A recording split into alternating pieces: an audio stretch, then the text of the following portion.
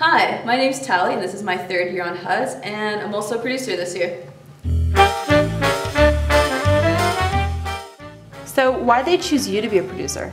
Well, I've been on the cast for three years now and uh, I also write a lot for them so I've given them a little bit of a female perspective. what? JD, that had no influence on your decision. What? It didn't.